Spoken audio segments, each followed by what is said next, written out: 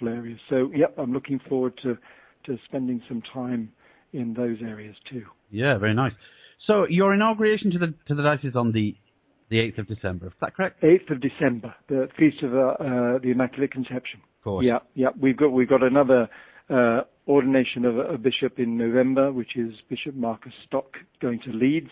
Yeah. So uh, we had to wait a little bit because we can't keep having ordinations. So when you're appointed, you get three months really to to make sure you get installed. So that seemed to be about the right measure of time.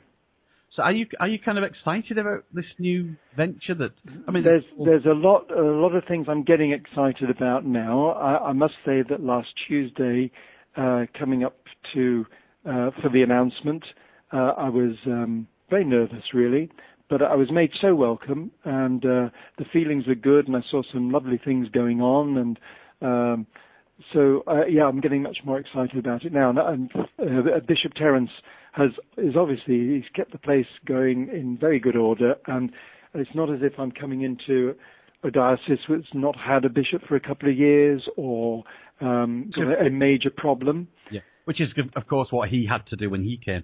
That's when, right. When Bishop yeah. Kelly became Archbishop, I think we were 18 months without a bishop. So that's what. Yeah, and that's really unsettling for any any diocese. No matter how dedicated your administrator might be, you know, he can't make the big decisions, and uh, people can feel a bit adrift. So it's it's wonderful to have this uh, handover, and Bishop Terence has been really generous in what he's had to say and the time he's given me, and we'll be talking more before the December, December handover. I'm sure that must be a, a kind of a, a, great thing for you as well that you know you've got this handover and you're not yeah. into something. So that yeah, and I, I, I know I've known Bishop Terence for, for the last eight years uh, in the bishops' conference, and um, I have to say that one of the best things about being a bishop in, in England and Wales is the other bishops. They're a great crowd, and I've learned a lot from them. And and uh, Bishop Terence would be one one of the pers- people I, have I've learned from. So uh, it, it's great now to to feel that uh, he's happy to have me moving in and happy to move into his own retirement. And uh, it's it's a it's a good time for handover. Very good. Now, just for our listeners, it's only really been a few days since uh, since the announcement was made in the diocese. And I can tell you, Bishop John, that the the joy shown at the announcement of your appointment, I think, will only be matched by the welcome that I know you'll receive when you eventually come and join us. That's really heartwarming. I'm delighted. I'm very encouraging. Uh, I'm delighted. I, I've had literally hundreds of of emails and letters and cards and phone calls. Yeah. And uh, I, I just think, yeah, if so many people feel this is the right time and uh, I'm, I'm the right person to do the job. I do hope so, and I hope I can equip myself well. Oh, I'm sure you will. Now, listen, I, I I'm sure there are many questions that priests and parishioners and people who work for the diocese they'd love to ask at this point, but I don't think that's the right thing to do here. I think that's for another time.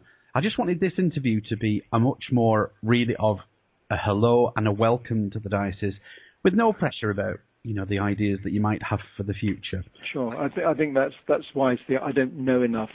Yeah, uh, and, I, and I certainly can't make decisions without a lot more consultation and thought and reflection. Yeah. Well, we, we just want you to arrive in good time and we want you to settle in and be welcome to our diocese. And we want our diocese to become your new comfort zone.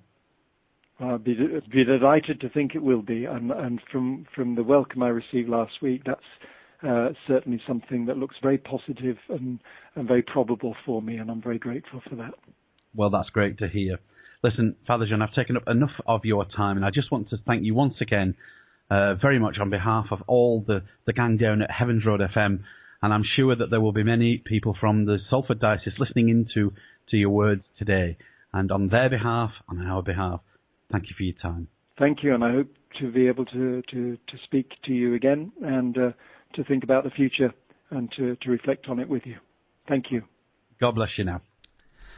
Well, wasn't he delightful? At one point in that interview, he mentioned since the announcement, you know, people have been sending cards and well, wishing him well, and he's had hundreds of emails. So, do you know, I'd really like to thank him for responding to my email that was crammed in among all those others that he'd received. And it was a simple request, really, for the interview. So I'm delighted. He was a lovely speaker. Very, I felt very relaxed with him, and that's superb, really, because he's going to be my new boss. So I'm delighted um, that he gave me that time, and I just found him so easy to speak to. And it's really just for me to, I suppose, finish really by once again wishing him all the very, very best for his future as the new Bishop of Salford. And on behalf of all of us, I can assure him of our prayers. And I would also like to ask for all our listeners if you would be so kind as to keep Bishop John Arnold in your prayers. He is going to need it. It's uh, the job of bishop is a really tough job, but please God, he is the man to lead Salford forward. And of course, we uh, leave all the decisions of, of this kind not just to the Holy Father, but to the Holy Spirit.